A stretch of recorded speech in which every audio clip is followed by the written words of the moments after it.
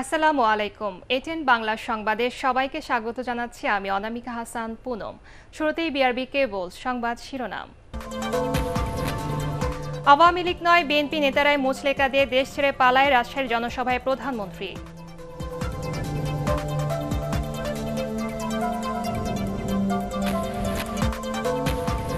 রাষ্ট্রীয় সুযোগ সুবিধা নিয়ে আওয়ামী লীগ সমাবেশ করল বিএনপির শান্তিপূর্ণ কর্মসূচিতে বাধা দিচ্ছে সরকার, অভিযোগ মির্জা ফখরুলের।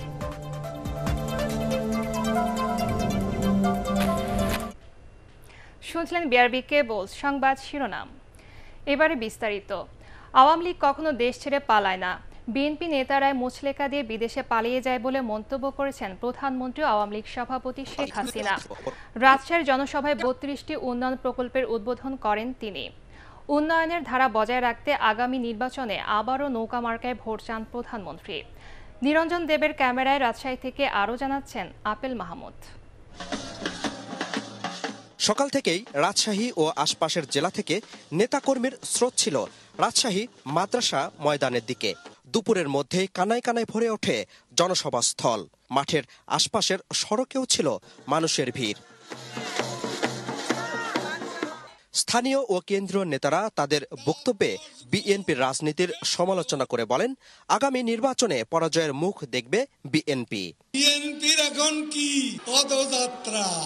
পদযাত্রা মানে পেছন যাত্রা। পদযাত্রা মানে মরণ যাত্রা। আগামী নির্বাচনে ফাইনাল খেলা। খবর আছে? তৈয়ার হয়ে যান। রেডি হয়ে যান। বিএনপির এখনও শিক্ষা হয়নি। বেলা সোয়া তিনটার দিকে সভাস্থলে আসেন প্রধানমন্ত্রী শেখ হাসিনা। এটি পাঁচ বছর পর তার রাজশাহীর সফর। প্রায় এক হাজার তিনশো কোটি টাকা ব্যয় ছাব্বিশটি উন্নয়ন প্রকল্পের উদ্বোধন ও ছয়টি প্রকল্পের ভিত্তি স্থাপন করেন তিনি। প্রধানমন্ত্রী বলেন, বিএনপি লুটেপুটে খায় আর আওয়ামী লীগ ক্ষমতায় আসে জনগণকে দিতে। বিরোধী দল অনেক কথাই বলে, তারা আমাদেরকে আবার নোটিশ দেয়। আবার বলে, আমরা নাকি পালানোর পথ পাবো না। আমি এই বিএনপি জামাত জোট যারা হয়েছে, তাদের জিজ্ঞাসা করি, পালায় কে? আওয়ামী লীগ কখনো পালায় না, পিছু হটে না। আওয়ামী লীগ জনগণকে নিয়ে কাজ করে। এই সংগঠন জাতির পিতা বঙ্গবন্ধু শেখ মুজিবের হাতে গড়া সংগঠন। এই সংগঠন যখনই ক্ষমতা এসেছে বাংলাদেশের মানুষের ভাগ্য পরিবর্তন হয়েছে। আওয়ামী লীগ জনগণের কল্যাণে কাজ করে বলেই নৌকার প্রতি বিএনপির ক্ষোভ বলে মন্তব্য করেন তিনি। নৌকায় ভোট না দিলে দেশ স্বাধীন হতো না। দেশ স্বাধীন না হলে জিয়াউর রহমান মেজর থেকে মেজর জেনারেল প্রমোশন পেত না। আর দেশ স্বাধীন না হলে কোনোদিন ক্ষমতায় আসতে পারতো না খালেদা জিয়া প্রধানমন্ত্রী তো হতে পারতো না। আর সেই নৌকার উপরে এত রাগ কেন? অথচ নৌকায় ভোট দিয়ে মানুষ কি পায়? আজকে খাদ্যের নিশ্চয়তা পাচ্ছে। আজকে পরনে কাপড় পাচ্ছে রোগের চিকিৎসা পাচ্ছে কমিউনিটি ক্লিনিক করে দিয়েছি, বাড়ির কাছে মা বোন হেঁটে যে চিকিৎসা পেতে পারেন, সেই ব্যবস্থা আওয়ামী লীগ সরকার করে দিয়েছে। আওয়ামী লীগ ছাড়া কোনো সরকার রাজশাহীর উন্নয়নে কাজ করেনি বলেও দাবি করেন দলটির নেতারা। জামাত শিবির আর বাংলা ভাইয়ের অভয়নগরে আজ উন্নয়নের শহর। আর এই উন্নয়নের শহরকে স্মার্ট নগর হিসেবে গড়ে তুলতে চায় আওয়ামী লীগ। আর এর জন্য আগামী জাতীয় নির্বাচনে নৌকার পক্ষে ভোট চাইলেন প্রধানমন্ত্রী শেখ হাসিনা। আপেল মাহমুদ এটেক বাংলা, রাজশাহী। রাষ্ট্রীয় সুযোগ সুবিধা নিয়ে প্রধানমন্ত্রী দলীয় সমাবেশ করলেও বিএনপি শান্তিপূর্ণ কর্মসূচিতে বাধা দেওয়া হচ্ছে বলে অভিযোগ করেছেন দলের মহাসচিব মির্জা ফখরুল ইসলাম আলমগীর। চেয়ারপারসনের গুলশান কার্যালয়ের সংবাদ সম্মেলনে তিনি বলেন, আওয়ামী লীগের কারণে আগামী জাতীয় নির্বাচন অনিশ্চিত হয়ে পড়েছে। তার মতে, বিএনপি ও বিভিন্ন জোটের যুগপদ আন্দোলন দেশের মানুষের মধ্যে নতুন আশার সঞ্চার করেছে। মইনুল আহসানের রিপোর্ট। যুগপদ আন্দোলনের শরিক বিভিন্ন দল ও জোটের শীর্ষ নেতাদের সাথে ভবিষ্যৎ কর্মসূচি ও করণীয় ঠিক করতে ধারাবাহিক বৈঠক করছেন বিএনপি মহাসচিব মির্জা ফখরুল ইসলাম আলমগীর। গণতন্ত্র মঞ্চের সাথে বৈঠকের একদিন পর বারো দলীয় জোটের সাথে মতবিনিময়ে নিজেদের ঐক্য অটুট রেখে আন্দোলন জোরদারের বিষয়ে সিদ্ধান্ত হয়। পরে সংবাদ সম্মেলনে মির্জা ফখরুল বলেন, আওয়ামী লীগের জোর করে ক্ষমতায় থাকার চেষ্টা আগামী জাতীয় নির্বাচনকে অনিশ্চয়তায় ফেলে দিয়েছে। দু হাজার নির্বাচন বলেন, দু হাজার আঠারো নির্বাচন বলেন, আজকে যে নির্বাচনের দিকে আওয়ামী লীগ জোর করে এককভাবে যাওয়ার চেষ্টা করছে, সে তার প্রেক্ষিতগুলো দেখেন, গোটা দেশে জাতিকে আজকে অশান্তিকর একটা অবস্থার মধ্যে নিয়ে যাওয়া হয়েছে। এই দেশের মানুষ কেউ জানে না যে কীভাবে নির্বাচন হবে। এই দেশের মানুষ জানে না যে সে তার ভোটটা দিতে পারবে কি পারবে না। কারণ তারা অতীতে যে কাজগুলো করেছে তাতে একটা ব্যাপার নিশ্চিত হয়ে গেছে যে এই সরকারের অধীনে কোনো নির্বাচন হতে পারে না। বিএনপি নেতাকর্মীদের উপর রাষ্ট্রীয় সন্ত্রাসের অভিযোগ করে মির্জা ফখরুল বলেন বিরোধী দলের শান্তিপূর্ণ কর্মসূচিতে বাধা হামলা নির্যাতন চালানো হলেও সরকারি সুবিধা নিয়ে সমাবেশ করছেন প্রধানমন্ত্রী। আমাদের প্রোগ্রামের সময় তা তিন দিন আগে থেকে ট্রান্সপোর্ট স্ট্রাইক করিয়ে দেয়। পুলিশকে নামিয়ে দিয়ে রাস্তায় রাস্তায় চেকপোস্ট বসায়। বিরোধী দলকে যে কোনো উপল্লে হোক তাদেরকে তারা কোনো কর্মসূচি করতে দেবে না বাধাদান করবে, অন্যদিকে ভিন্ন মত সহ্য করবে না। আর তারা তাদেরটা বলতেই থাকবে, করতেই থাকবে তারা রাষ্ট্রের সমস্ত যন্ত্রগুলোকে ব্যবহার করবে। যুগপৎ আন্দোলনের মধ্য দিয়েই আমরা জনগণকে সম্পৃক্ত করতে, করছি। মানুষের মধ্যে একটা আস্থা সৃষ্টি হয়েছে যে অন্যান্য রাজনৈতিক দলগুলো, তারা এই দাবির সঙ্গে একমত হয়ে গণতন্ত্রকে পুনরুদ্ধারের জন্য তারা লড়াই করছেন সংগ্রাম করছেন এবং এটা নিঃসন্দেহে অনেক বড় মাত্রা যুক্ত করেছে। জোট নেতারা জানান চার ফেব্রুয়ারি বিভাগীয় সমাবেশ থেকে সরকারের পদত্যাগ সহ দশ দফা দাবি আদায়ে নতুন কর্মসূচি ঘোষণা করা হবে। জাতীয় পার্টি সম্মানিত Moinul Ahsan ATN Bangla Dhaka. Bangladesh Kalyan Party HSC ও সমমানের পরীক্ষার ফল ঘোষণা আগামী আট ফেব্রুয়ারি। আন্তঃশিক্ষা বোর্ড সমন্বয় কমিটির আহ্বায়ক ও ঢাকা শিক্ষা বোর্ডের চেয়ারম্যান তপন কুমার সরকার সাংবাদিকদের বিষয়টি নিশ্চিত করেন। তিনি জানান, প্রধানমন্ত্রী শেখ হাসিনার নির্দেশে আট ফেব্রুয়ারি দুপুরে পরীক্ষার ফলাফল প্রকাশ করা হবে। ওই দিন সকাল দশটার মধ্যে দেশের সব শিক্ষা বোর্ডের চেয়ারম্যান ও শিক্ষা মন্ত্রণালয়ের কর্মকর্তাকে নিয়ে প্রধানমন্ত্রীর কাছে ফলাফলের সারসংক্ষেপ তুলে দেবেন শিক্ষামন্ত্রী ডাক্তার দীপুমণি পরে ফলাফলের বিস্তারিত তুলে ধরে সংবাদ সম্মেলন করবেন মন্ত্রী।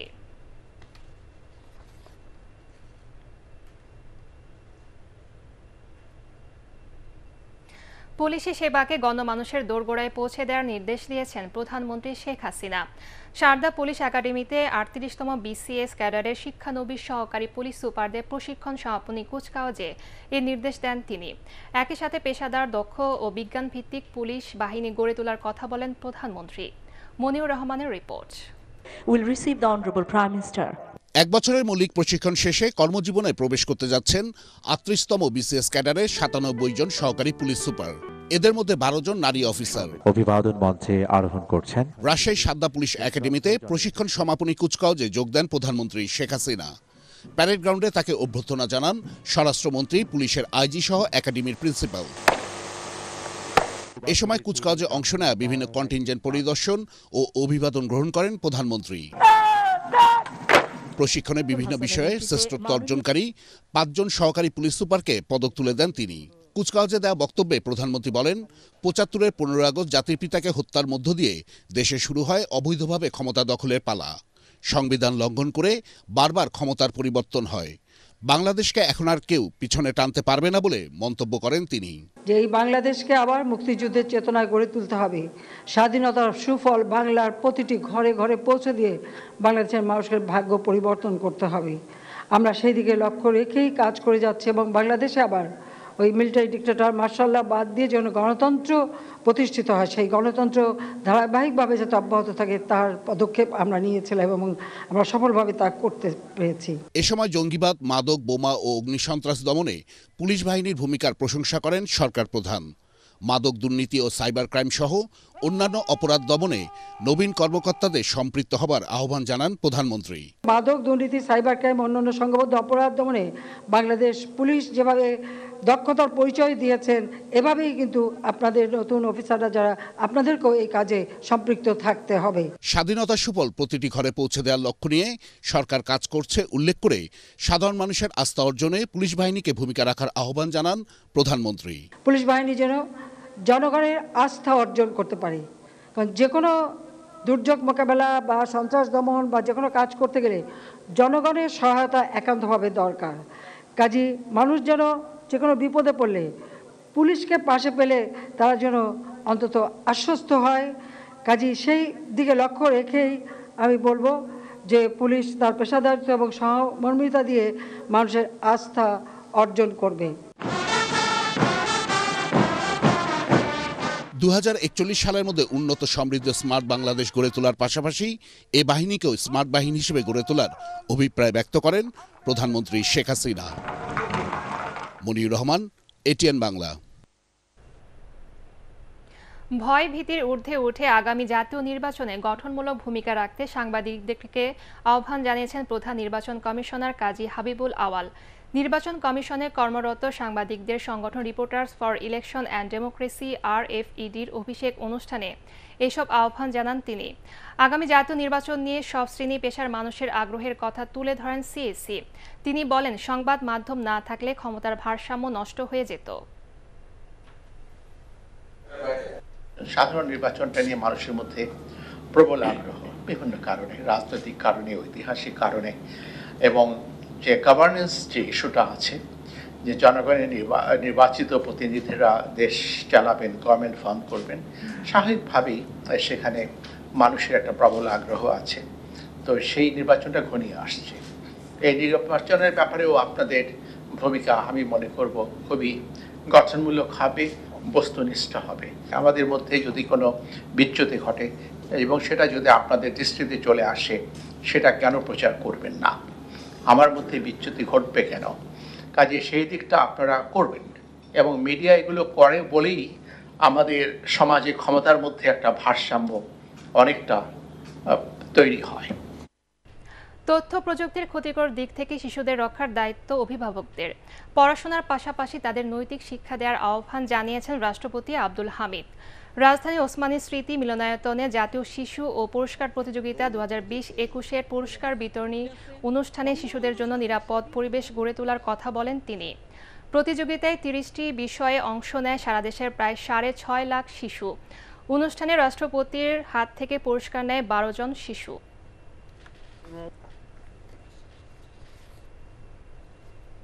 বিশ্বায়নমূলক তথ্য প্রযুক্তির যুগে শিশুদের নৈতিক শিক্ষা প্রদান অতীব জরুরি। এখন প্রত্যেক ঘরে প্রত্যেক ঘরে ঘরে শিশুদের হাতে মোবাইল, ল্যাপটপ সহ বিভিন্ন অত্যাধুনিক ডিভাইস ফলে শিশুরা আজ মোবাইলে আসক্ত। তারা খেলার মাঠে বেশি যায় না, শিল্প, সাহিত্য চর্চা করে না, প্রকৃতি, পরিবেশ চিনে না। তাই প্রযুক্তির ক্ষতিকর দিক থেকে সন্তানদের রক্ষা করার দায়িত্ব আপনাদেরই। নিপা ভাইরাসের সংক্রমণের ব্যাপারে সবাইকে সতর্ক থাকার আহ্বান জানিয়েছেন স্বাস্থ্যমন্ত্রী জাহিদ মালিক। সচিবালয়ে সাংবাদিক সম্মেলনে মন্ত্রী বলেন, নিপা ভাইরাসে এখন পর্যন্ত আট জনের সংক্রমণের খবর পাওয়া গেছে। তাদের মধ্যে পাঁচজনই মারা গেছেন। মন্ত্রী জানান, নিপা ভাইরাসের সুনির্দিষ্ট কোনো চিকিৎসা বা টিকা নেই। জাহিদ মালিক বলেন, স্বাস্থ্য সেবার মান বাড়াতে সরকারি, বেসরকারি হাসপাতাল ও ডায়াগনস্টিক সেন্টারকে সেবার মান অনুসারে চারটি ক্যাটাগরিতে ভাগ করে প্রকাশ করা হবে।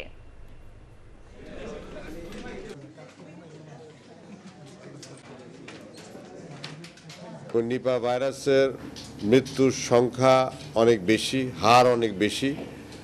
অর্থাৎ প্রায় সত্তরের উপরে মৃত্যু হয়ে থাকে। এবং নিপা ভাইরাসটি সাধারণত কাঁচা খেজুরের রস পান করলে হয়ে থাকে এবং পাখিতে খাওয়া ফল সেখান থেকেও অনেক সময় হয়ে থাকে। মনে রাখতে হবে, নিপা ভাইরাসের কোনো রকমের কিন্তু প্রতিষেধক নাই, কোনো ভ্যাকসিনও নাই, কোনো ওষুধও নাই। শেষ মুহূর্তে জমে উঠেছে ঠাকুরগাঁও তিন আসনের উপনির্বাচন। বিএনপি প্রার্থীর পদত্যাগে শূন্য হয় এই আসন। প্রচণ্ড শীত উপেক্ষা করে প্রার্থীরা দিনরাত ছুটছেন ভোটারদের দাঁড়ে দাঁড়ে তারা বলছেন, এলাকার উন্নয়নের পাশাপাশি যাদের সব সময় কাছে পাওয়া যাবে, তাদেরকে ভোট দিয়ে নির্বাচিত করবেন তারা। ঠাকুরগাঁও থেকে ফিরোজ আমিন সরকারের রিপোর্ট জানাচ্ছেন মনির হোসেন তোপো। পহেলা ফেব্রুয়ারি অনুষ্ঠিত হবে জেলার পীরগঞ্জ রানীশঙ্কৈল উপজেলা নিয়ে গঠিত ঠাকুরগাঁও তিন আসনের উপনির্বাচন। এ আসনে হাতুড়ি মার্কা নিয়ে প্রতিদ্বন্দ্বিতা করছেন আওয়ামী লীগের শরিক দল ওয়ার্কার্স পার্টির প্রার্থী ইয়াসিন আলী জাতীয় পার্টির হাফিজ উদ্দিন আহমদ সহ ছয়জন প্রার্থী। শীত উপেক্ষা করে প্রতিদ্বন্দ্বী প্রার্থীরা ভোটারদের কাছে টানতে ছুটছেন দাঁড়ে দাঁড়ে এলাকার উন্নয়নে নানা প্রতিশ্রুতি সহ পাশে থাকারও আশ্বাস দিচ্ছেন তারা। তবে মুখরোচক আশ্বাসে নয় নানা হিসেব নিকেশ আর ভোটের সমীকরণ কোষে যোগ্য প্রার্থীকে বেছে নেবেন ভোটাররা। যার কাছে যাইলে মনে করেন যে সুযোগ সুবিধা পাওয়া যায় কথাবার্তা শুনে সেরকম ব্যক্তি মানে প্রার্থিত্ব আমাদের দরকার। এলাকার উন্নয়ন যা করতে পারবে তাকেই চাই। চোদ্দ দলের প্রার্থী ইয়াসিন আলী ও জাতীয় পার্টির প্রার্থী হাফিজ উদ্দিন আহমদের মধ্যে মূল লড়াই হবে এমনটি মনে করছেন ভোটাররা। আমার আমার এলাকার মানুষকে আশ্বস্ত করছি আমি গিয়ে নির্বাচিত আল্লাহ যদি করে আপনারা যদি ভোট দেন তাহলে হয়তো এটা আবার শুরু করবার একটা প্রক্রিয়া শুরু করা যেতে পারে দশ মাসে। এই প্রতিশ্রুতি দিয়েছে। আর এখনও অনেক ইউনিয়ন পর্যায়ে অনেক রাস্তা কাঁচা রয়েছে এটাই বড় সমস্যা। এই সমস্যাটা সমাধানের চেষ্টা করব। তবে সুষ্ঠু অবাধ নিরপেক্ষ নির্বাচন করতে সব ধরনের প্রস্তুতি সম্পন্ন করেছে জেলা রিটার্নিং কর্মকর্তা জিএম শাহাতাবুদ্দিন। প্রতিটি কেন্দ্রেই কিন্তু আমরা নিরাপত্তা পরিকল্পনা এমনভাবে সাজাবো যেন ভোটাররা যেন নির্বিঘ্নে ভোট কেন্দ্রে আসতে পারে এবং ভোটাররা যেন নির্বিঘ্নে ভোট দিয়ে তাদের বাসায় ফিরে যেতে পারে। এক কথায় একটি সুষ্ঠু অবাধ নিরপেক্ষ নির্বাচন করার জন্য যা যা প্রস্তুতি দরকার আমরা ইতিমধ্যে গ্রহণ করেছি। একশো একুশটি ভোট কেন্দ্রে তিন লাখ উনত্রিশ হাজার তিনশো চোদ্দ জন ভোটার ইভিএম পদ্ধতিতে তাদের ভোটাধিকার প্রয়োগ করবেন। Bureau report, ATN Bangla. বৈশ্বিক মন্দায় অন্য দেশের মতো বাংলাদেশে অর্থনৈতিক চাপে আছে বলে জানিয়েছেন এশীয় উন্নয়ন ব্যাংক এডিবির কান্ট্রি ডিরেক্টর এডিমন গিন্টিং। রাজধানীতে American Chamber of Commerce and Industry AmCham সভায় সামষ্টিক অর্থনীতি ব্যবস্থাপনায় দক্ষতার ধারাবাহিকতায় এবং বিচক্ষণ নেতৃত্ব বাংলাদেশকে বড় ধরনের সংকট থেকে রক্ষা করবে বলেও আশাবাদ ব্যক্ত করেন তিনি অনুষ্ঠানে অ্যামচ্যাম সভাপতি সৈয়দ এরশাদ আহমেদ অর্থনীতির হালনাগাদ পরিসংখ্যান তুলে ধরেন Bangladesh has been known as a resilient economy. So initial condition is good. So with that, as long as we have the right policy, could respond. Hopefully, if we take this turbulence as co- another COVID, I think the country will, will, will, uh, will be surviving a lot better compared to, to the other investment regulations. If you simplify regulation, if it's not needed, get them out. If it's there but it's hard to implement, get them out. Those that is important, make it easy to comply. And that's what Vietnam is doing.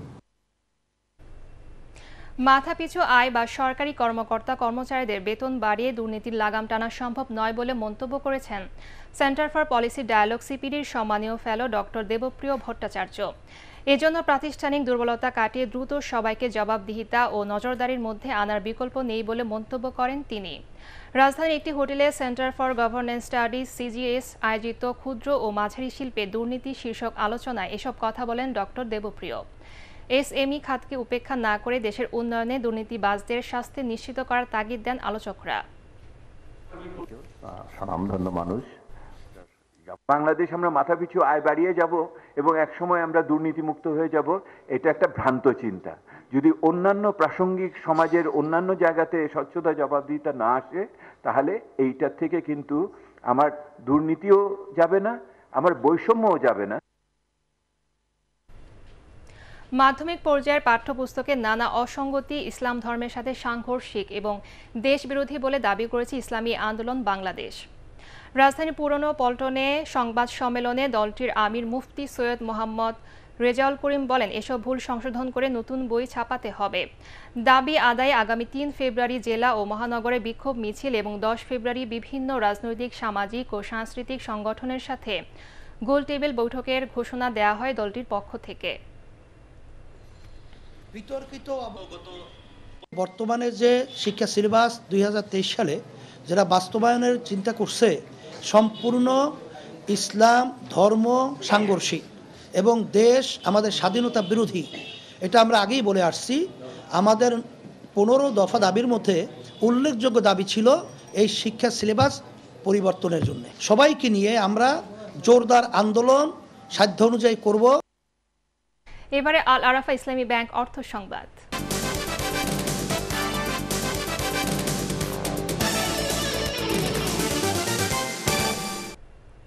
বাজার ব্যবস্থার কার্যকারিতার যথাযথ উপলব্ধি করে মুদ্রানীতির প্রণয়ন প্রয়োজন ছিল বলে মনে করেন বিশ্লেষকরা। অপরিবর্তিত সুদের হারের কারণে দেশের সব খাতি মুনাফা হারানোর ঝুঁকিতে রয়েছে বলেও মত দেন তারা। মুদ্রানীতি নিয়ে institute of chartered accountants of Bangladesh ICAB এর সেমিনারে বক্তারা জানান, মূল্যস্ফীতি ও তারল্য সংকটই দেশের মূল সমস্যা। এই পরিস্থিতিতে অর্থনীতিতে যে চাপ আছে তা দূর করতে দৃশ্যমান নীতিমালা ও দিক নির্দেশনা থাকা প্রয়োজন ছিল বলেও জানান তারা। অনুষ্ঠানে পলিসি রিসার্চ ইনস্টিটিউটের নির্বাহী পরিচালক আহসান এইচ মনসুর এবং আইসিএবি সভাপতি মোহাম্মদ মনিরুজ্জামান অন্যান্যের মধ্যে বক্তব্য রাখেন।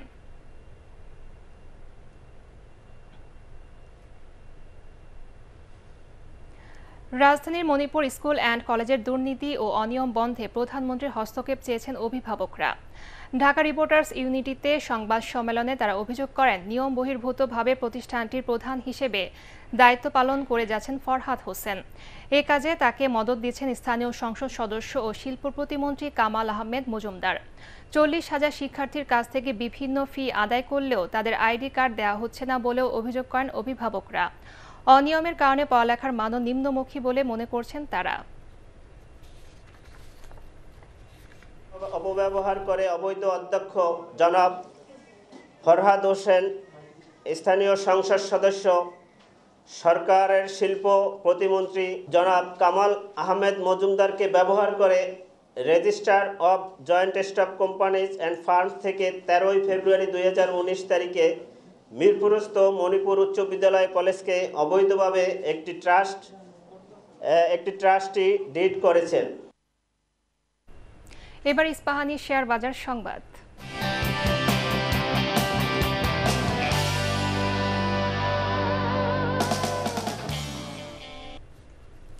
সপ্তাহের প্রথম কার্যদিবসে ঢাকা স্টক এক্সচেঞ্জে সূচক ও লেনদেন দুটোই কমেছে। প্রধান মূল্য সূচক বিএসসি এক্স সাত পয়েন্ট কমে ছয় হাজার দুশো আটাশি পয়েন্টে দাঁড়িয়েছে। এছাড়া সরিয়া সূচক কমেছে দুই পয়েন্ট। দিন শেষে লেনদেন হয় চারশো উননব্বই কোটি সতেরো লাখ টাকার শেয়ার ও মিউচুয়াল ফান্ডের ইউনিট। লেনদেন হওয়া তিনশো তেতাল্লিশটি প্রতিষ্ঠানের মধ্যে দাম বেড়েছে ছাব্বিশটির, কমেছে একশো বিয়াল্লিশটি ও অপরিবর্তিত রয়েছে একশো পঁচাত্তরটি কোম্পানির শেয়ারের দাম। এদিকে চট্টগ্রাম স্টক এক্সচেঞ্জে লেনদেন হয়েছে ছয় কোটি তিপ্পান্ন লাখ টাকার শেয়ার। হাত বদল হওয়া একশো ছেচল্লিশটি কোম্পানির মধ্যে দর বেড়েছে পঁচিশটির কমেছে, উনষাটটি ও অপরিবর্তিত রয়েছে বাষট্টি কোম্পানির শেয়ারের দর।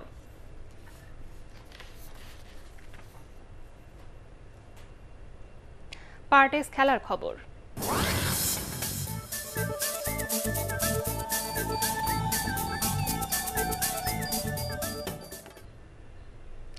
আগামী দশ ফেব্রুয়ারি ক্যাপ টাউনে দক্ষিণ আফ্রিকা ও শ্রীলঙ্কার ম্যাচ দিয়ে শুরু হবে নারীদের টি টোয়েন্টি বিশ্বকাপ।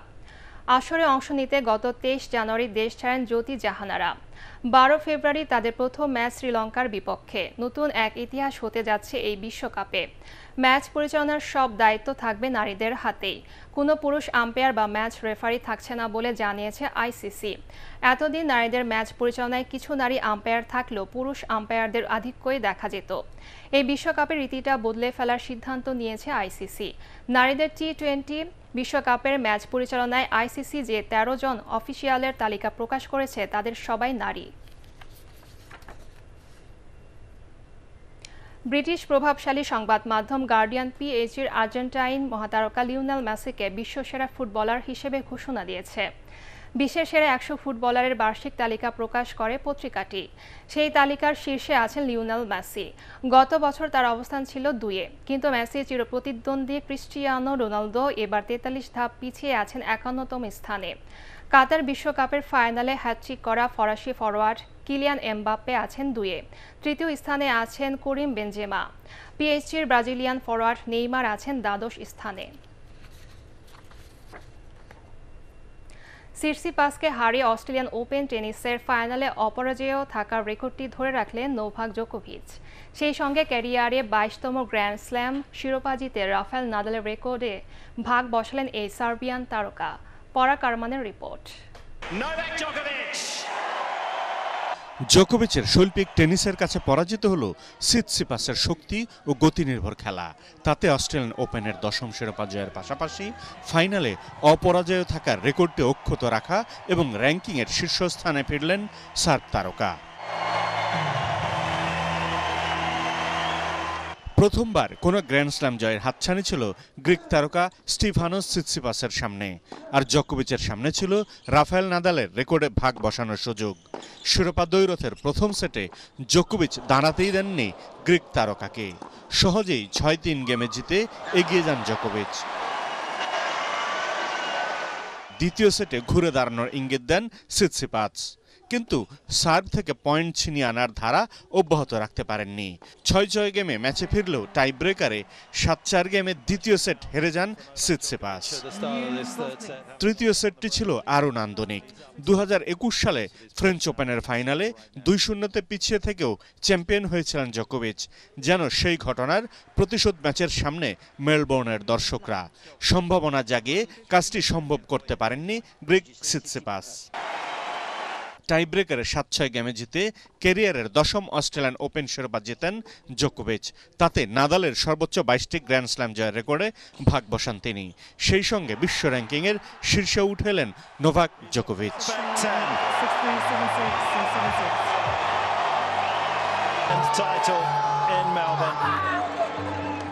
পরাগারমান এটিএন বাংলা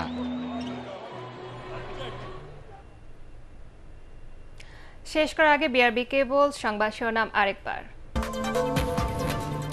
আওয়ামী লীগ নয় বিএনপি নেতারাই মুচলেকা দিয়ে দেশ ছেড়ে পালায় রাজশাহীর জনসভায় প্রধানমন্ত্রী।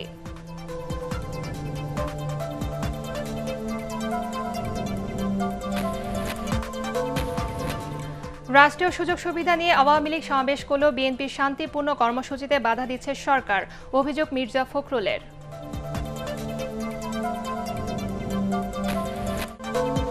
পরবর্তী সংবাদ দেখার আমন্ত্রণ জানিয়ে এখনকার মতো শেষ করছি এটেন বাংলার সংবাদ। ইউটিউবে দেখতে ব্রাউজ করুন। YouTube slash ATN Bangla news ধন্যবাদ সবাইকে।